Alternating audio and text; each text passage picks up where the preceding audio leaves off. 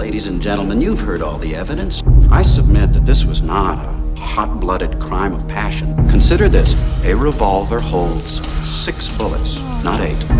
That means that he fired the gun empty and then stopped to reload.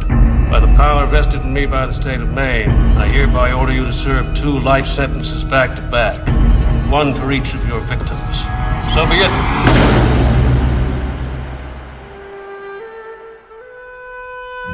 Send you here for life? That's exactly what they take. I believe in two things discipline Help me, Dad! and the Bible. Here you'll receive both. Andy came to Shawshank Prison in 1947. Why'd you do it? I didn't, since you ask. you gonna fit right in. I must admit, I didn't think much of Andy first time I laid eyes on him. He had a quiet way about him. A walk and a talk that just wasn't normal around here. There are places in the world that aren't made out of stone. There's something inside that they can't touch. What are you talking about? Hope. Let me tell you something, my friend. Hope is a dangerous thing.